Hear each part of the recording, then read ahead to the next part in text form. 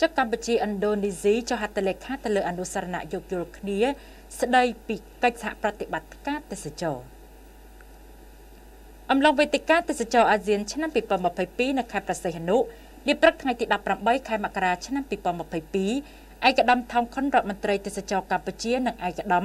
សេនឌីយ៉ាហ្គាសាឡាហ៊ូឌីនអូណូរដ្ឋមន្ត្រីទេសចរនិងសេដ្ឋកិច្ចឆ្នៃប្រឌិតឥណ្ឌូនេស៊ី បានចុះហត្ថលេខាទៅលើអនុសរណៈយោគយល់គ្នាស្ដីពីកិច្ចសហប្រតិបត្តិការទេសចរតាមរយៈប្រព័ន្ធ Video Conference ដោយមានលោកស្រី Verna Emerada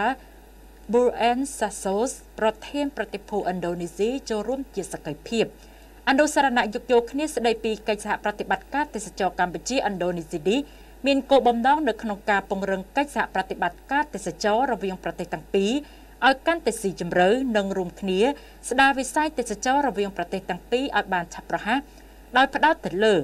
1រួមគ្នាផ្សព្វផ្សាយនឹងទីផ្សារនៅពិព័រណ៍ទេសចរថ្នាក់តំបន់និងអន្តរជាតិ2ផ្លាស់ប្ដូរបទពិសោធន៍លើការរៀបផែនការនិងគ្រប់គ្រងគោលដៅទេសចរ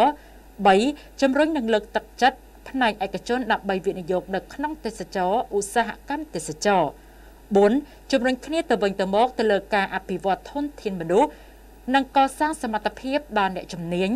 5ជំរុញកិច្ចសហប្រតិបត្តិការលើការរៀបចំព្រឹត្តិការណ៍ទេសចរសន្និសិទពិព័រណ៍ទេសចរនិងកិច្ចប្រជុំផ្សេងផ្សេង6ជំរុញការតបភ្ជាប់ជើងហោះហើរត្រង់រវាងប្រទេសទាំងពីរឯកឧត្តមរដ្ឋមន្ត្រីសេនឌីយ៉ាកាសាឡាហ៊ូឌីនអូណូក៏បានកោតសរកម្ពុជាដែលបានដាក់ចេញនិងអនុវត្តនីតិវិធីស្តង់ដារ SOP និងវិធានការសុវត្ថិភាពរបស់កម្ពុជាប្រកបដោយប្រសិទ្ធភាព និងឈានមុខគេនៅក្នុងចំណោមប្រទេសសមាជិកអាស៊ានទាំងអស់សូមបញ្ជាក់ថាក្នុងនាមជាម្ចាស់ផ្ទះរៀបចំវេទិកាទេសចរអាស៊ាននៅឆ្នាំក្រោយឥណ្ឌូនេស៊ីនឹងរៀបចំនៅព្រឹត្តិការណ៍រាត្រីឥណ្ឌូនេស៊ីនាយប់ថ្ងៃទី19ខែមករាឆ្នាំ2022នៅសន្តាគារ Printham ខេត្តប្រសេះនុដោយនឹងមានអ្នកចូលរួមប្រមាណ250នាក់